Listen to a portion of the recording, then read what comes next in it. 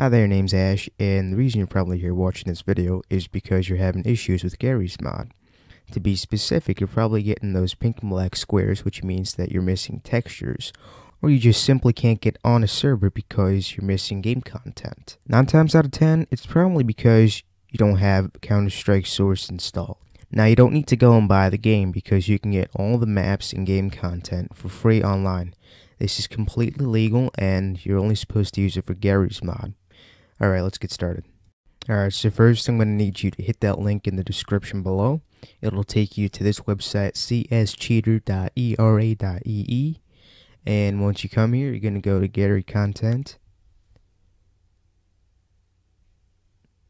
Scroll down, and right here is Counter-Strike Source. So you're going to download the maps and game content. I would use Mega because it's probably the most um, easiest problem free and also these have uh the files split so you're gonna have to like do two or three downloads instead of just two for this. So go ahead and hit that mega link. Wait for this. All of them are at flat links so you're just gonna have to deal with that. And there you go and you're going to start the download which um, I've already downloaded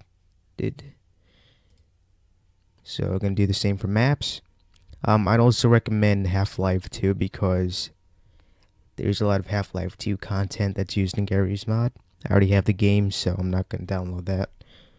But the process is exactly the same as to what I'm going to show you after this now you're also going to download the spawn lists because since you're downloading the CSS content, you're to need the spawn lists to work with that. And this is a 120 KB download, so it'll be like, bam, done. Alright, so I'll be showing you the spawn list process first. Gonna open that up. It's a zip file, easy, bam and okay you're gonna need to go into computer local disk get program files x86 which will be program files for those of you who have 32-bit uh, windows. Go to the steam folder look for steam apps common and find Garry's mod. There we go. Go into Garry's mod scroll down find settings go into spawn list and here we are. Now you're gonna go back to the zip file select everything drag it over and you're gonna copy and replace or copy everything. I already have the stuff so I'm just gonna replace it. And bam that's the spawn list process. Okay so once the maps and content are done downloading you're gonna need to go back to computer local disk x86 or program files for those of you on 32-bit steam.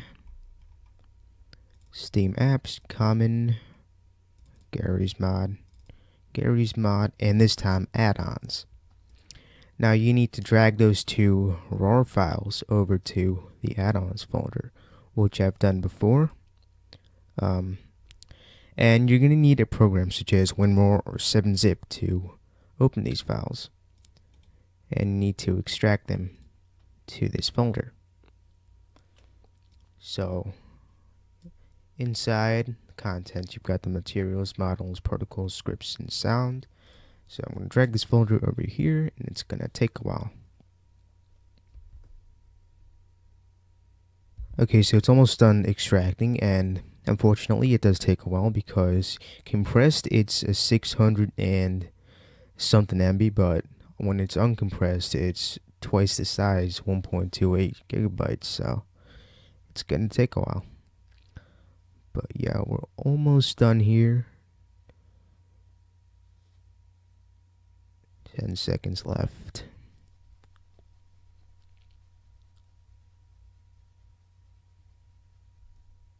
And done. So now you get the content out, and what that is is basically all your um, items in the map. You know, like the barrels, the crates, yeah, like the glass. You know, from the windows, crates, I said that. Um, boxes and all that stuff that you can like pick up and move around and you know like when you shoot it it goes flying yeah all that stuff and this is especially um, needed when you're playing a game like prop hunt because it's one of the main aspects of the game. Okay. So now we're going to open up this the maps um, archive. And we're going to copy this and this does not take that long because it's only like 76 MB well yeah that's uncompressed and right now the total size is 234 MB but still does not take as long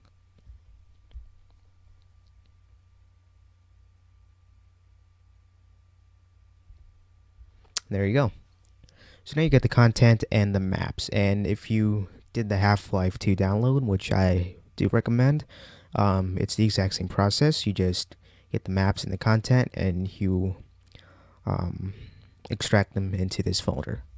Now make sure when you go into the folder you've got this add-on text file and then the other content. And in here you've got um, some text in this format. And basically this is in code so that the game will understand what this is and use it. So now you shouldn't be having any more problems. Um, having the Counter-Strike source game content and maps should be able to um, make you able to like go on about 9 out of 10 servers.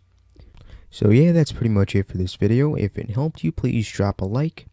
If you have any problems, um, please try to be as descriptive as possible when posting in the comments below. Make sure that you follow the tutorial exactly how I presented it to you. And um, I'll try my best to help you out.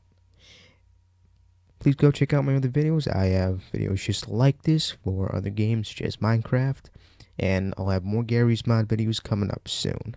That's it for now, and I'll see you again later.